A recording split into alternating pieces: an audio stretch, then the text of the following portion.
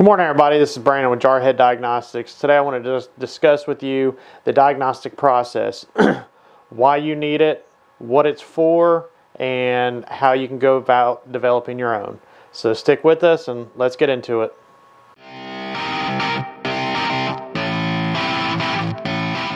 What is a diagnostic process? Well, the diagnostic process is just that it's a process that you need to follow anytime you have a vehicle that has any type of concern.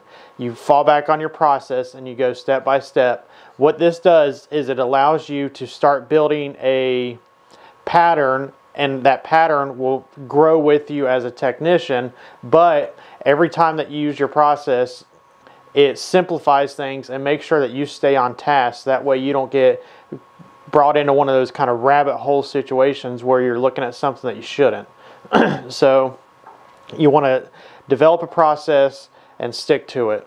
I'm going to kind of go over my process about what I do. Um, it's a fairly broad process and it can be used for just about anybody. So, you know, we'll kind of take it from there. All right, on my process, step one uh, proper debrief of the concern. Uh, debrief's kind of a military term that I've always used. Anytime our pilots came back from flight and they had an issue, we would always debrief them with the issue. Um, but anytime you do this conversation, whenever you're learning what you have to figure out, you always ask questions, and this is step one in the process. During that debrief, you ask your questions. Always lead the questions and never give closed-ended questions. Always give open-ended questions because if you just lead with, okay, so your vehicle's hesitating, yes, and then they'll just respond with yes, and you know, okay, now I got to figure out the vehicle hesitation. But if you lead with an open-ended question, you know, good morning, Billy Bob, how are you today? When does your vehicle hesitate? Then they'll kind of lead into open-ended questions, and they'll answer it, but they will give you a lot of times they'll give you the answer what you're looking for but in a term that they might not realize that they're giving it to you. Well you know technician i always have my hesitation whenever i'm going to my mom's house. Okay billy well, what do you do when you go to your mom's house? Well you know you know that big hill over on that street? I always drive up that hill and during that up that hill i always seem to have to pass a car. Well whenever i'm passing a car going up the hill that's whenever i notice my hesitation so now as a technician, on just that simple question, when does it happen, you now figured out that the hesitation happens whenever you're going uphill under an extreme load. So now as a technician, whenever you go out to do your testing to verify the concern, you now know that you need to be going uphill and put the vehicle under load to try and get the hesitation. So always, always, always, whenever you're doing your initial questioning, you always lead the question and you always give them open-ended questions, never closed-ended question because all that will do is kind of lead you astray. So step number two, you always want to verify the concern. If you cannot verify the concern, you cannot properly diagnose the vehicle. I don't care what anybody tells you. If you cannot verify it, you cannot properly diagnose it. So always, always, always verify the concern. Step three, I always do a full health report on the vehicle. Um, this one's kind of up for debate. Some people say, well, in my process, I might only scan, you know, the PCM. Well, that's fine, but sometimes the PCM might not have information that, let's say, the TCM or the ABS module is saying that it's having issues communicating with this. Well, just because you scan the PCM, you might not have seen the other issues that are inside the vehicle that all kind of leads back to your diagnostics on or testing of what you need to be doing for that vehicle. So I always take this time and I always do a full system scan. On some vehicles, yes, this might take you an extra four or five minutes. I understand that. But if you're trying to do the proper diagnostic process, you need to know everything that's going on with that vehicle so that way you as the technician can figure out their issue and get their vehicle back to the customer. Step four, probably one of the largest ones, research. After you verify the concern and after you've done your full health report, research. You couldn't even understand how many times I have repaired a vehicle because of the research. I searched. TSBs, service actions, recalls, concerns that have happened, and what it will typically do is help guide you in your diagnostic process. If you skip this research one, you could be spending hours diagnosing a vehicle that has a software concern where all you have to do is do a software update and the concern is gone. Or there is an upgraded bushing because you've got a squeaky noise. Prime example, whenever I worked at Kia, I actually helped develop a uh, service action for the Souls because on the Souls they had a solid rear axle. Well, going over a slight creak or slight pivot, that rear axle would shift just enough for the bushing on the right hand side to create a squeak. We had so many different people trying to figure out where the squeak was coming from and how and so many parts were just thrown at it and then come to find out all we had to do was loosen the bolts spray some of the lubricant into the bushings tighten everything back up and it went away so many parts were replaced because a TSB wasn't there. Now that the TSB's there, there's no more parts to replace, and you can take advantage of these. No more having to figure out, well, it's doing this. Do your research, and somebody else might have already had that exact same issue that you have, and it will help you in your diagnostic process as to what's the steps that you need to do. So always, always, always research.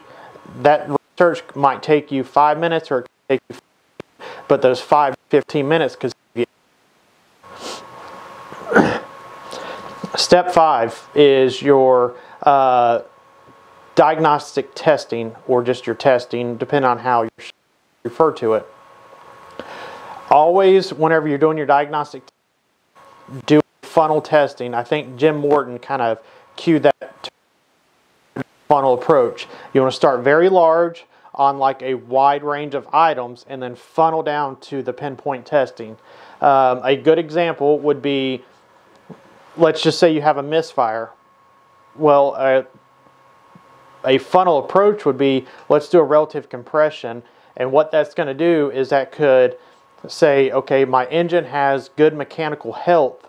So now I don't really necessarily need to pinpoint test any mechanical issues. What I'll do is I will actually now go pinpoint other items inside of the engine performance section that could cause a misfire. You're taking that system and you're literally splitting it in half with a two minute test. That's that's huge because if not, then what are you going to do? Well, now I need to do. Let me do a compression test and a leak down test and this test. Test my spark plugs. Test this. Test injectors. Test all this other stuff whenever all you had to do was a quick two minute test relative compression now it's okay it's you know engine performance side or engine mechanical side it helps you funnel down to that pinpoint testing which brings me to this you have to get down to your pinpoint testing rather quickly you don't want to get on one of these rabbit chases where it's you know i think it might be this and then you spend four hours trying to diagnose something that has absolutely nothing to do with the concern. So always do the funnel approach. Start with a large testing platform and then work your way down to pinpoint testing of whatever that concern might be. All right, after the pinpoint testing, and let's, I'm just going to use a converter, a catalytic converter. You diagnose that the vehicle needs a catalytic converter. After your pinpoint testing, you need to do a brief test on any of the systems that might affect that component from failing. Why is that big? A catalytic converter is a very expensive item to replace in the vehicle. They do go bad. You replace it, it comes back two weeks later needing a converter again. If you would have spent this time, 5, 10 minutes, 15 minutes, and done some other brief testing, you might know why that, that converter failed, that converter failed again. Let's say the vehicle's got a massive oil consumption issue. Well, that converter is now failing because it's got too much engine oil in the converter. And then two weeks later, boom, the next thing you know, it needs a converter again. Well, why? Well, it needs a converter again because it's consuming oil. Or does it have a faulty fuel injector and that's causing too much fuel to be dumped into the converter and burning the converter up? So after you get done with your testing and your pinpoint testing, always make sure that there is nothing else that could be causing that issue to happen. Another good example, a purge valve. let's say the vehicle's got a purge flow issue, you put a purge valve in it, and then it comes back a week later, need another purge valve, and you're like, well, what the heck's going on? Well, maybe the canister has failed and it's allowing all of the charcoal pellets filtered all the way through the evap system, and those charcoal pellets are now stuck into the purge valve, causing it to stick open. So now you have to backpedal as a technician and be like, well, this part's also failed, and that's why that one failed. Whenever you did your initial diagnostic process, you should have already looked at all of those different things that could be causing that component to fail. So after you do your testing, always just verify that there is no other system or component that caused whatever component you found bad to be the one to fail. step number seven, and the last step of the process, is verify your repair. This is huge, especially in the industry where people look at us and think that we're just trying to rip them off. Always, always, always make sure that you're verifying, whether that's a coolant leak and all you do is you put a your coolant pressure tester back on it and verifying that the coolant is not spraying out of anywhere anymore and taking it on a short test drive to make sure it doesn't overheat to running a evap service bay test and making sure that the evap system is working properly. Always redo or always verify your repairs. Now as a technician you might be saying well i'm not getting paid to do this. Well you are and that kind of brings me down to these little blurps that I have down at the bottom. And I'll kind of go back over my process and go over these little blurps.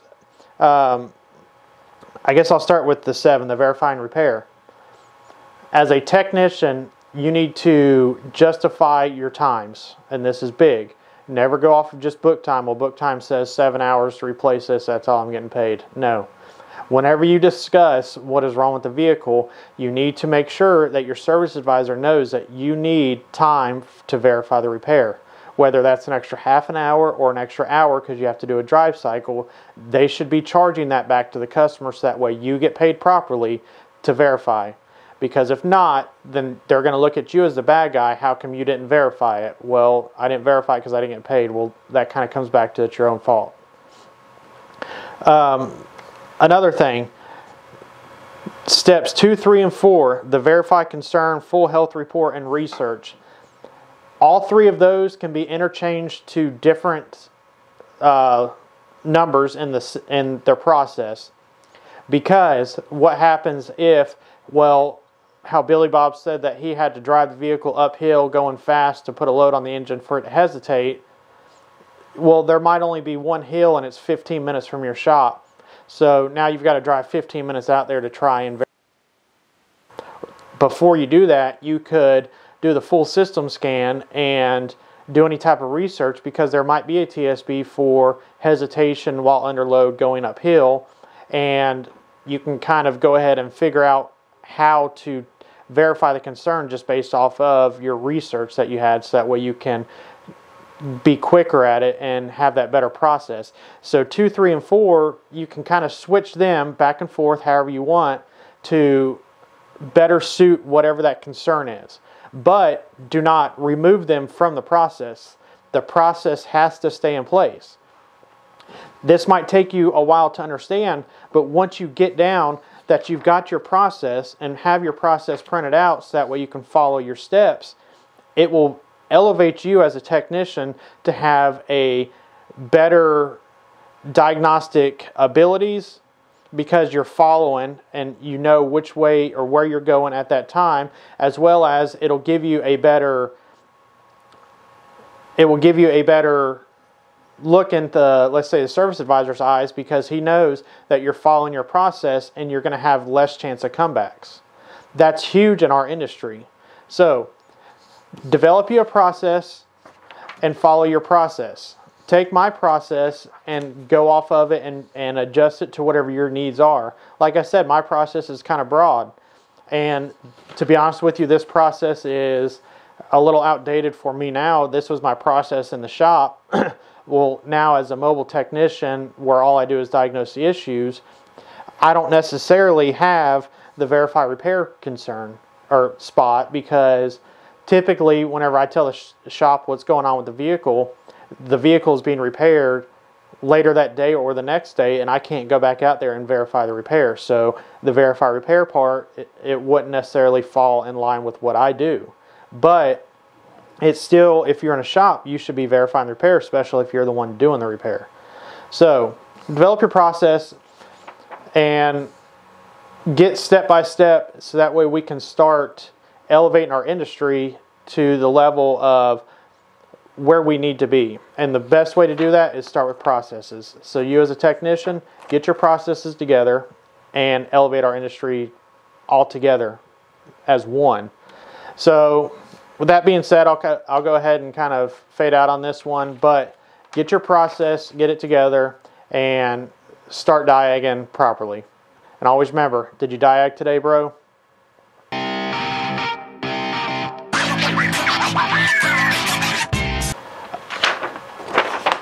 Um, on my website, I'm going to have a link to where you can download my process. Um, and then once you get the process, what it'll also entail is um, I'll be able to do an email back and forth with you so that way we can pinpoint down your process to better suit whatever the career path that you have. So, link down below for that, and let's build this industry up one technician at a time. Have a good day, everybody.